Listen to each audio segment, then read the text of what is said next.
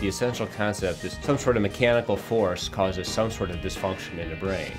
And that can be very, very severe. Patients who wind up in a coma, or in its mildest form, it can be a concussion. So there's a very large spectrum of different types of conditions under what we call traumatic brain injury. Mildest types don't need much treatment at all, just, just rest and let your body recover.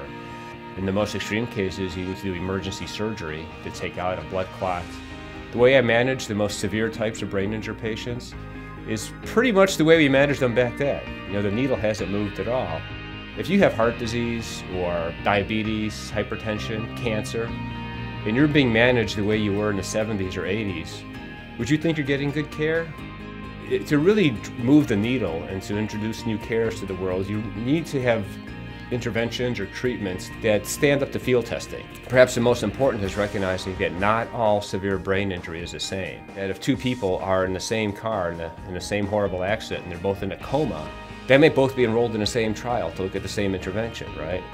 Well, the difference is one of them on their CAT scan may have what we call just diffuse injury. You know, it doesn't look that bad. The person sitting next to them in that car may have a huge blood clot on their brain, and that's a surgical emergency. You need to go right now. Now, those are two very different diseases, right? So why would you enroll them in the same study? And actually, the place that put traumatic brain injury research on the map and made it a respectable area of scientific study was Medical College of Virginia, right here.